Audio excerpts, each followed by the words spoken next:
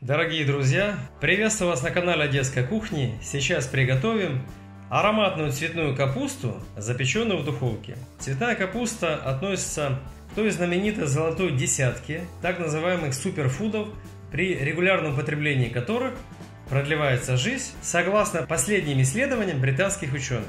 Спорить с ними не будем, тем более, что она очень вкусна, особенно если приготовить таким оригинальным способом, как сегодня – Честно говоря, когда первый раз это блюдо приготовили, родные были в полном кулинарном неистовстве. Ну, в хорошем смысле этого слова. Главные секреты мы обсудим позже, а за хорошее настроение у нас отвечает первый одесский анекдот. Разговор в одесской поликлинике. Доктор, а правду говорят, что спать таки очень полезно ногами на запад? Знаете что, Моня, в наше время лучше всего спать уже целиком на западе. А теперь ингредиенты. Одна головка цветной капусты на 1,5-2 килограмма, одна чайная ложка лимонной цедры, 2 столовые ложки меда, 2 трети чайной ложки соли, 1 зубчик чеснока, секретные ароматные пряности, по желанию можно взять 1-2 столовые ложки вяленых томатов, 1 стакан сухого белого вина и 4 столовые ложки оливкового или растительного масла. Дорогие друзья, сейчас мы приготовим ароматную цветную капусту, запеченную в духовке.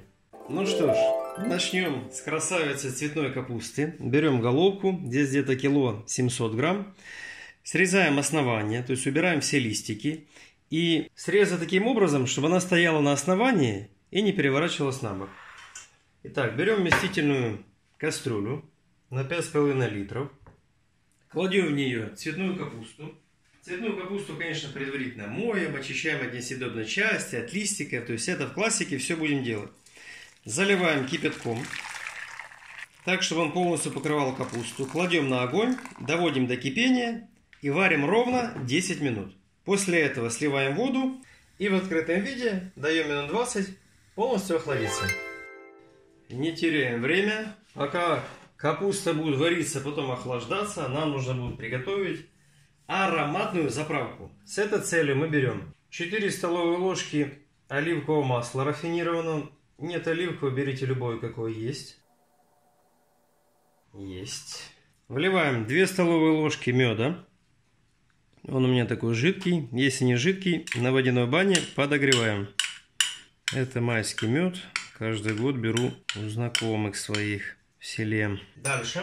Одну чайную ложку лимонной цедры. Лимон, это цедра примерно с половиной лимона. Лимон предварительно хорошо помыл. Причем почистил содой. Два раза помыл с мылом. То есть снял все эти парафины, антисептики и так далее. Следующий на очереди зубчик чеснока. Либо чеснодавка, либо мелкая терка. Я выбираю второй вариант. Есть. Но это еще не все. Вводим 3-4 щепотки паприки. Красный жгучий перец от 1 8 до 1 4 чайной ложки. Черный молотый перец. Примерно от 1 8 тоже до 1 4 чайной ложки. 2 трети чайной ложки соли. Уже начинаем все это смешивать. Следующий момент. Нам нужно будет измельчить зелень петрушки. Берем веточек 10, именно зелени. И мелко-мелко-мелко измельчаем. Слышали? Капуста отварилась. Сейчас будем ее со страшной силой охлаждать. Будет такое принуждение к охлаждению. Кстати, по желанию можно добавить еще вяленые томаты. Я взял 6 вяленых томатов. Прямо вместе с оливковым маслом, котором они были замурованы. Красота получится. Друзья, ароматная вкуснятина получится. Все это хорошо смешиваем. Пришло время собирать конструктор.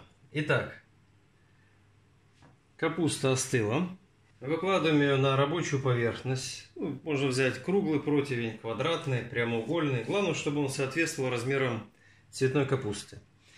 Ну и со всех сторон нам нужно будет хорошо смазать, пропитать капусту нашей ароматной сладко-соленой вкусной заправкой. Очень хороший гарнир к мясным блюдам и вообще можно есть как самостоятельный.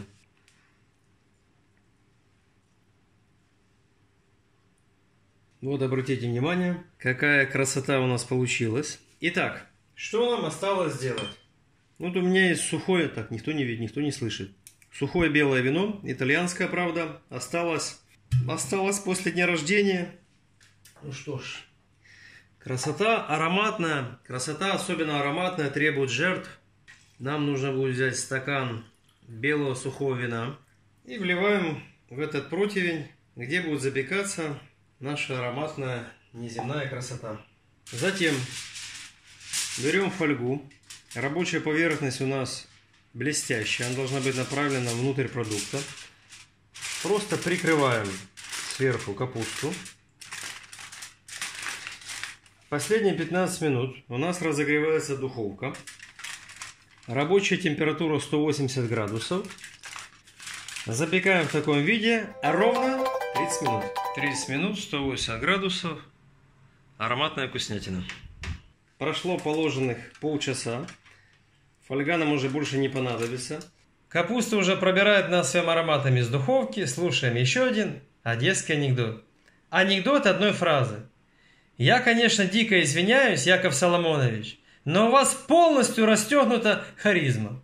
Кстати, у кого есть непереносимость по тем или иным причинам вина, Вместо стакана вина берем крепкий мясной или овощной бульон. Теперь при той же температуре выставляем наш стеклянный противень в духовку. Запекаем еще от 25 до 30 минут до характерно румяны. И самое главное, каждые 8-10 минут открываем духовку и поливаем выделившимся соком цветную капусту. 25 минут, 180 градусов. Капустная красота! А кто любит не только слушать кулинарные видеорецепты, а также после этого их прочитать, закрепить материалы и приготовить еще лучше, с этой целью, есть кулинарный сайт Cookpad, номер один кулинарный сайт в мире, на котором я зарегистрирован как канал Одесской кухни, прочитать наши с вами любимые рецепты и приготовить еще лучше. А для творческих людей есть возможность саму зарегистрироваться и также выставлять свои коронные семейные рецепты. А кто любит не только слушать кулинарные видеорецепты, а также после этого их прочитать, закрепить материалы и приготовить еще лучше, с этой целью, есть кулинарный сайт Cookpad, номер один кулинарный сайт в мире, на котором я зарегистрирован как канал Одесской кухни, прочитать наши с вами любимые рецепты и приготовить еще лучше. А для творческих людей есть возможность саму зарегистрироваться и также выставлять свои коронные семейные рецепты. Дорогие друзья, Капуста подана в лучшем виде, в лучшем кулинарном аромате. Ну что, дорогие мои, охлаждаем. Бульон, который остался после капусты, на основании него можно сделать замечательный суп с итальянскими нотками. Все, что нужно сделать, охладить, нарезать на небольшие кусочки. Очень хорошо сочетается эта капуста в качестве гарнира с любым мясным блюдом, либо как самостоятельно можно использовать со всеми соусами. Майонез, бешамель, взять сметано-чесночный соус, сделать самим, или с несладкого йогурта с чесноком и с пряностями. В общем, фантазии хоть и отбавляй, на самом деле блюдо самобытное и достаточно вкусно в монопоедании. Дорогие мои, обязательно делимся с лучшими друзьями, знакомыми, родственниками. Сделайте репост на все кулинарные просторы интернета, пишите вкусные комментарии. Ставьте лайки, нажимайте на колокольчик, чтобы быть в первых рядах получателей новых кулинарных шедевров. Подписывайтесь на канал Детской кухни, берегите себя и свою семью. Приятного аппетита! Пока!